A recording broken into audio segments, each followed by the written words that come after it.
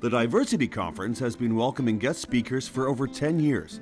This year, we are pleased to announce our keynote speaker, Margaret Trudeau. At the age of 22, Margaret Trudeau married husband Pierre Elliott Trudeau. Her husband and Canadians alike were drawn to her infectious free spirit and vivacious nature. The change for Margaret certainly wasn't easy. Her marriage thrust her into a national spotlight.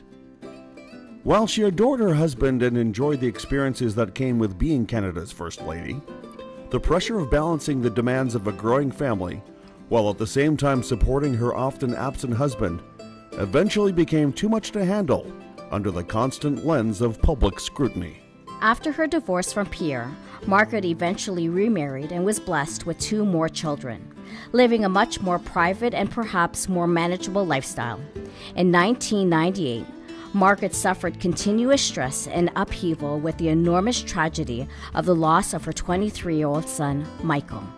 In 2003, Margaret made the courageous decision to publicly share that shortly after the birth of her second child at 24 Sussex Drive, she had all the while been suffering from the challenge of living with undiagnosed bipolar disorder and depression.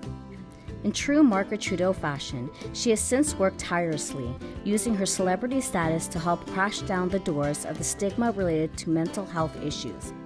The Dufferin Peel Catholic District School Board 2016 Diversity Conference proudly welcomes a role model and inspirational leader. Margaret is a true advocate for those suffering from mental health issues, pushing for those issues to be part of the public's collective conscience so that we as educators and Canadians may strive to provide equity for all.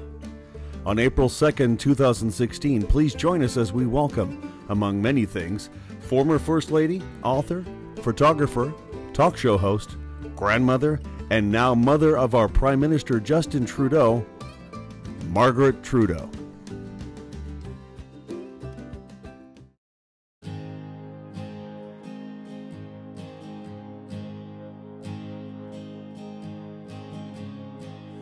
Lots of fire engines, the neighbors standing on the grass, parents clutching their own, fighting heart attacks.